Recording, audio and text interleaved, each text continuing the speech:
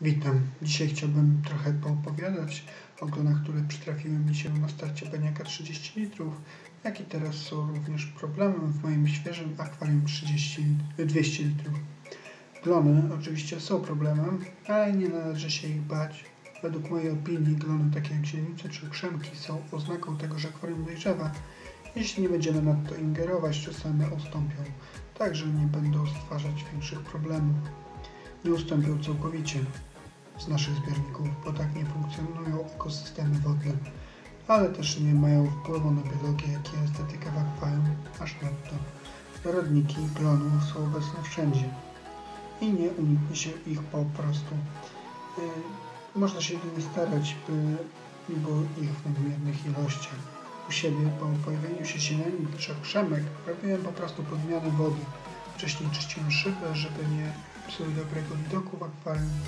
Udało mi się, ile udaje utrzymać w ryzach dzięki rybom glonożernym, takim jak otocynka z moim akwarium 30 litrów, czy czyli grubowark syjamski w akwarium 200. Bardzo dobrze glony usuwa ślimak litery helmet, przetestowany w moim akwarium. Teraz sprawdzam, jak sprawdzi się ślimak zebra, czyli Reptilian talensis. Co do military helmeta, to nie niszczy on roślin. Bardzo rzadko widziałem, aby przemieszczał się po roślinie i je czyścił. Raczej wybierał korzeń i szyby, a po ścieżce, którą przemieszczał, pozostawała czysta, czysta szyba od. Jeśli chodzi o pielęgnację roślin, to ja polecam e, krewetki karłowate, takie jak Redszery, Yellow czy Bubble gdyż robią one jakże pożyteczną robotę i muszę przyznać, że ja nie miałem problemów z jakimiś sytuacjami, e, że roślina nie rosła z powodu klonów. Krewetek musi być oczywiście większa ilość i na pewno e, podołają z źrenicami. U mnie tylko zauważyłem, że nie ruszają twardych, starych kolonii, które były już od jakiegoś czasu. Podobnie zachowywały się też u mnie toski. Dobrze jest posadzić jak największą roślin w akwarium jeśli nie ma nadmiaru biogenów, gdyż rośliny, e, jeśli nie ma nadmiaru biogenów, gdyż rośliny bieżąco je przerabiają, azot i fosfor, to nie ma też problemów z glonami. Jest to moim zdaniem najlepszy sposób na plagi zielenic. Jeśli moje akwarium było mocno po przycince, rośliny nie przerabiały całych biogenów, a szyby szybko robiły się całe zielone i musiałem je czyścić. Najlepiej, jeśli świeże akwarium jest przynajmniej w 70% obsadzone szybko rosnącymi roślinami. Nie musi być całe zarośnięte moczarką czy rogatkiem, ale jak e, będzie ich tak przynajmniej 30% lub więcej, tym lepiej. Z moich, e, z innych roślin, które poleciłbym z moich akwarium, to z całą pewnością e, Limnofilia sessiflora, czyli Limnofilia bezszczypułkowa, jak też Rogotylia japan, Sagittaria, subata, różaniec czy rotella rotundifolia. Nie stosowałem żadnej chemii do walki z glonami. Jedynie przez cały czas podawałem preparat Carbo w płynie, a jeśli zwiększała się ilość zielenic, to stosowałem dawkę e, trzy razy większą niż poleca producent na opakowaniu. Preparat ten jest nawozem dla roślin, dostarcza organiczną formę węgla, potrzebnego do wzrostu, ale nie jest to CO2 w płynie, jak niektórzy piszą. Ale o Carbo może nie dziś, nagram o tym inny film. Dodam, że ma on pewny skutek uboczny w postaci wpływania na e, przestawanie hamowania rozwoju zieleni. Może być więc skutecznym sposobem na walkę z zieloną wodą i źrenicami e, na szybach. Wpływa też na zaprzestanie rozwoju innych klonów, ale u mnie nie miałem okazji tego sprawdzić. Czytałem, że gałązotka kulista, która też jest rodzajem glonów, zamiera w akwarium, w którym dozuje się karbo. Dziś będzie o glonach, a konkretnie o tych, które oglądałem w pierwszej fazie startu zbiornika. To nie były to źrenice i okrzemki. Glony, e, glony są tak powszechną grupą morfologiczną, że należy do kilku drobnych królestw, jak na przykład bakterii, to na przykład sinice, protist, czyli eugleny, topałki, a także roślin, e, jak na przykład glaukocystoidy czy krasnorosty i zielenice.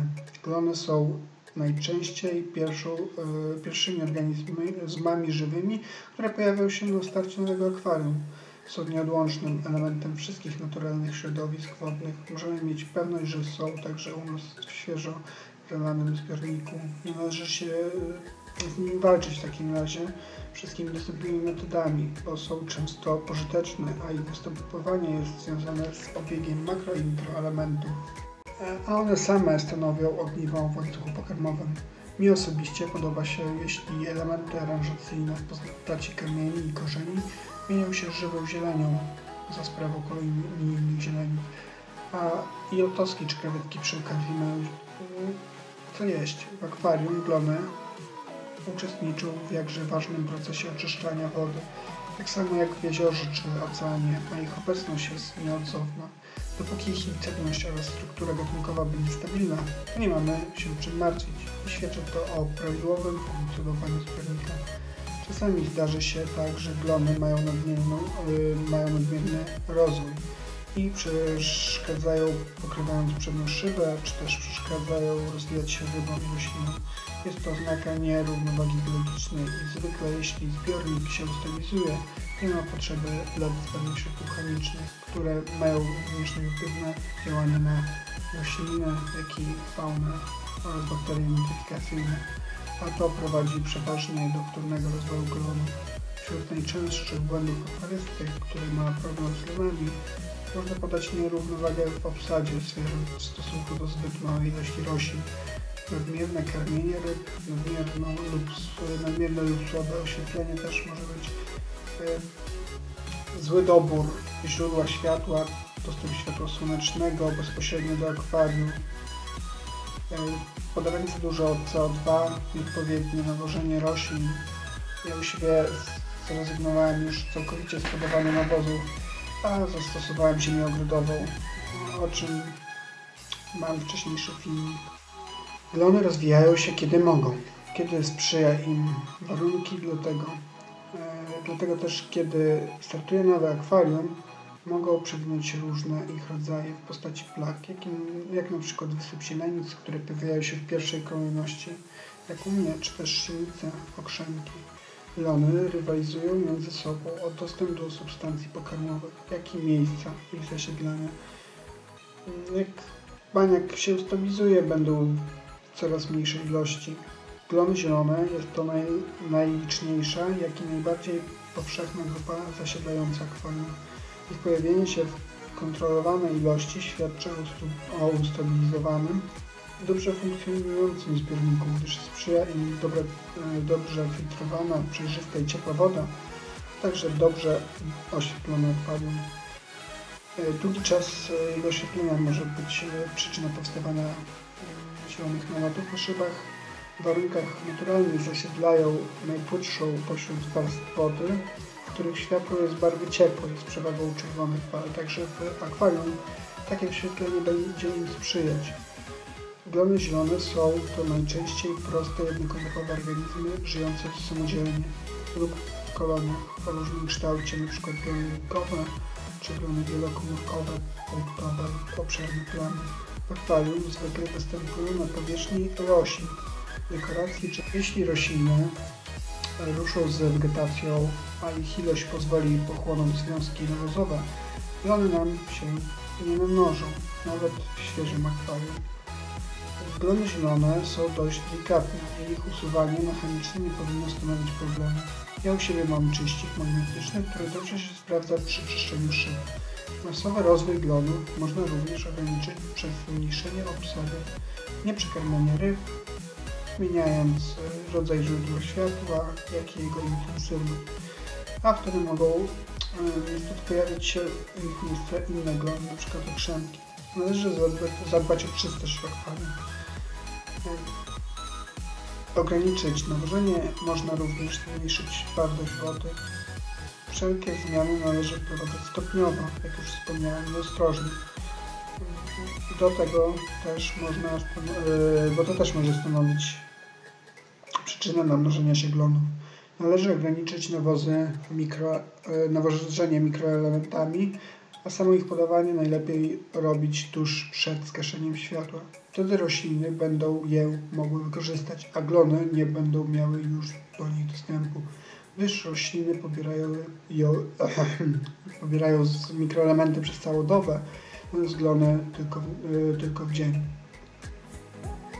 Ja u siebie, gdy przez pewien okres podawałem potas plus żelazo rano, miałem problemy z sinicami. Tak mi się przynajmniej zdawało, żeby to sinice, mogło to być też brunatnice. A gdy przestałem podawać mikro rano, na rzecz podawania wieczorem, e, problem się rozwiązał. Nie podawałem również, tak jak producent zalecił, raz na tydzień więcej, a tylko nieduże dawki prawie codziennie. Z moich doświadczeń wynika, że jak ograniczymy e, padanie światła słonecznego wprost na akwarium, to e, znacząco zmniejszy się rozwój glonów zielonych. Także jak już zaobserwowałem, zbyt, e, zbytnie grzebanie w akwarium może też być przyczyną nadmiernego rozwijania się glonów. Odmywanie czy przesadzenie roślin powoduje wzruszenie podłoża, czego wynikiem jest uwalnianie substancji odżywczych do słupa wody. I zamiast służyć jako pokarm dla roślin, stają się pożywką dla glonów. Mogę powiedzieć, że u mnie pojawiły się dwa typy zieleni. Punktowe, kolonijne, porastają powierzchnie szyb i liście wolno rosnących roślin, są objawem zdrowego, dobrze funkcjonującego akwarium, gdyż e, są wrażliwe na toksyczne metabolity ryb. E, nie schodzą łatwo z szyb. Jest to cecha odróżniająca je od źrenic jednokomórkowych, które tworzą najczęściej zielony pył na szybie. Ich nagły, tych jednokomórkowych, nagły intensywny wysyp jest związany z zachwianiem równowagi w akwarium często towarzyszy drastycznym zmianom w składzie wody, np. z powodu nawożenia czy grzebania w podłożu. W obu wypadkach wystarczy co jakiś czas przetrzeć, szyb, y, przetrzeć szybę, a dobrym sposobem na powstrzymanie ich rozwoju jest podawanie karbo w. Drugim z rodzajów glonów, które zwiększone przyrost założyłem w obu swoich akwariach, były glony brunatne. Występują one w wielu odmianach gatunków i najczęściej pojawiają się w świeżych baniakach w akwarium słodko, e, słodkowodnym są raczej rzadkie, a częściej występują e, w akwariach słonowodnych. Od okrzemek można je odróżnić e, po tym, że łatwo usuwa się je z szyb czy dekoracji. Ich ubarwieniem może być od żółtawo-brązowego do ciemnobrązowego. Zwykle zajmują dolne części akwarium. W naturze zasiedlają głębszą partię wody od zielenic i ich ubarwienie wykorzystuje do, e, do fotosyntezy e, brązowy barwnik, e, przez co wykorzystują one barwy raczej zimne o przewadze barwy niebieskiej. Doskonale rozwijają się, jeśli stosowane jest oświetlenie w postaci zimnego, białego światła typu żarówka energooszczędna czy świetlówka. Aby ograniczyć rozrost populacji brunatnic, najlepiej używać mieszanego światła z udziałem barwy ciepłej, białej full spektrum lub z udziałem barwy czerwonej. Ich pojawienie sprzyja ich pojawieniu sprzyja brak równowagi biologicznej, zanieczyszczenie wody materią organiczną oraz nagromadzenie się związków fosforu w akwarium. Również w wypadku tych plonów konieczne są podmiany świeżej wody. Walka z nimi jest trudniejsza niż w wypadku źrenic. Warto zastosować szybko rosnące rośliny, nie przekarmiać e, obsady, dbać o czystość w akwarium, ściągając przy podmianach narastający osad na akwarium. Pomoże również odpowiednie oświetlenie. Zauważyłem również po swoim akwarium, że glony brunatne nie są tak chętnie zjadane przez otowskie krewetki. W pierwszych dwóch tygodniach akwarium 30 litrów stosowałem oświetlenie w postaci żarówki LED 11W od barwy ciepłej, zanim e, zainstalowałem oświetlenie właściwe do tego akwarium. E, wystąpiły wtedy okrzemki, które związane są z, ściśle z nieprawidłowym oświetleniem. Równo za krótkie i nieodpowiednie, jak i za mocne oświetlenie może być przyczyną występowania tych jednokomórkowych brązowych organizmów. Przypominają one swoim wyglądem brunatnice, są jednak znacząco twardsze i trwalsze, odniósł. Ze względu na występującą krzemionkę w ich składzie SiO2, okrzemki najczęściej występują na szybach, skałach i podłożu. Mogą osadzić się na liściach roślin, utrudniając w ten sposób fotosyntezę. Sprzyja im również twarda woda z sporą ilością minerałów, niski udział tlenu w wodzie i słaba filtracja. Dobrym, dobrym sposobem na zmniejszenie rozwoju e, w nowo powstałym akwarium jest dodanie szczepów bakterii w celu szybszego dojrzewania akwarium, a ich usuwanie z powierzchni szyb może być mechaniczne. E, otoski bardzo lubią zdrobywać i pożywiać. Rośliny.